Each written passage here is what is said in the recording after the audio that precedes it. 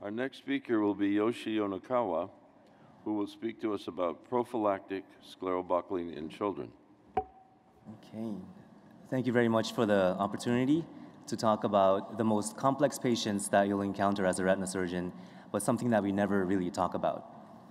Some of my disclosures. Please take a moment to watch these kids.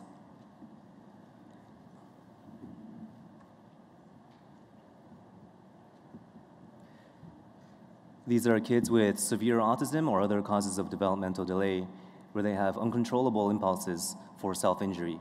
And these kids come with face slapping, head banging, vigorous eye rubbing. And as you can imagine, the preoperative, postoperative, and intraoperative considerations are completely different from your typical retinal detachment patients. The index patient that got me thinking about this topic was a 17-year-old teenager that I met two years ago with worsening self-injurious behavior, characterized by face slapping. Uh, during a multidisciplinary EUA, we identified bilateral traumatic cataract, one eye with a severe PVR detachment, and the other eye with no detachment, but multiple anterior breaks. So we have a management dilemma here where normally for a severe PVR detachment, these days we would normally do a buckle oil or a vitrectomy, retinectomy oil. But these kids can't do post-op drops a lot of times. They definitely won't position, cannot position. You can't examine them post-operatively. You also can't check their eye pressures. And so these patients, if you do a vitrectomy, they're at very high risk for endophthalmitis, very high risk for IOP-related issues that may cause blindness. And what about the other eye with multiple breaks? Normally you would do a laser retinopexy or cryo, but you can't examine them post-op, and a lot of times the self-injurious behavior continues afterwards, and so you need a very durable option. And so what I did was a primary buckle for the PVR detachment. It's not what we would normally do, but it's what we used to do, and it worked very nicely, thankfully. And having a buckle is lower risk in these patients, I think, than a vitrectomy.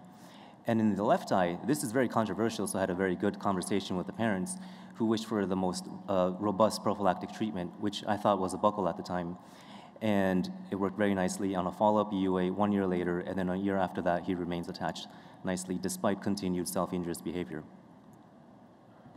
So was that the right choice though? We don't really know. And do we know how we should be treating these very complex and very vulnerable patients with severe retinal detachments where many of the usual surgical rules don't apply? And so when you don't know something, I think it's a good idea to do a study. So I called on the, our uh, wonderful community of pediatric retina surgeons, and we did a multi-center international study. Uh, this is Lissy Rawson, who uh, spearheaded the uh, data analysis. So this was a cohort of 76 patients. The mean duration of self-injurious behavior is 4.7 years.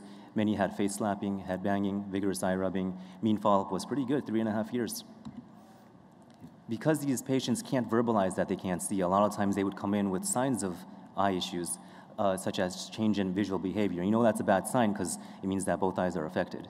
Uh, a lot of patients also came with change in eye appearance, also another late finding. And we can't do uh, ophthalmoscopy in clinic most of the time, so we use B-scan ultrasonography. That's a good way to examine these kids. Sometimes you just have to do an EUA to diagnose these uh, pathologies.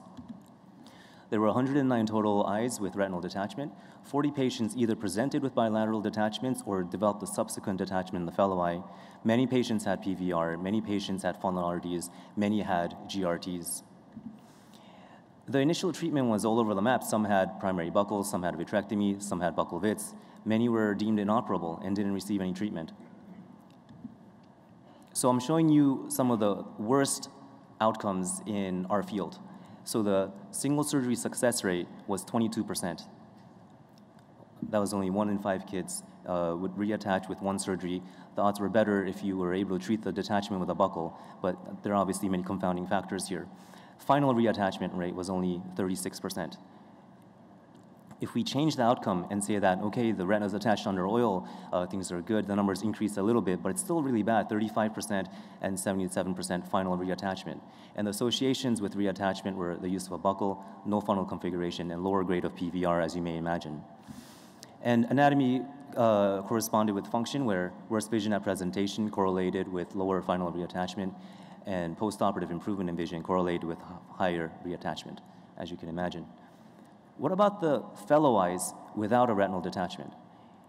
If the eyes initially had retinal tears without a detachment, none detached if they were lasered fully or prophylactically buckled. Uh, one detached that was treated prophylactically with endolaser during a traumatic cataract extraction. Five prophylactic buckles were performed in this series, none of them detached during the follow-up period. Anecdotal, anecdotally, we know of one case that didn't uh, make it into the study that detached after the buckle, so it's still not perfect, but I think it's something we can consider. So to summarize the data, the retinal detachments in kids and young adults with self-injurious behavior are some of the worst in the VR literature. Buckles seem to be beneficial, please consider that. The fellow eyes may benefit from prophylactic treatment, uh, will benefit from prophylactic treatment, and you can consider prophylactic buckles, I believe, in these cases. Based on our experience, some recommendations we have, I think we can try pushing the envelope on doing primary buckles, even if there's PVR, and try to fix it with a buckle if you can. The fellow eyes likely to have pathology also, so please make sure to check both eyes. And laser or prophylactic buckling can be considered for fellow eyes. And we have to work with other physicians and therapists to improve the self-injurious behavior because that's the biggest thing that keeps these kids from uh, reattaching. And about uh, five years ago, when I was a fellow, this uh, wise man told me, We don't operate on eyes, we operate on patients. And I think these patients are a good reminder to us that we have the eye in front of us, but we have to take the entire patient into consideration about their social issues, behavioral issues, to think of the best management plan to optimize outcomes in these vulnerable patients. Thank you.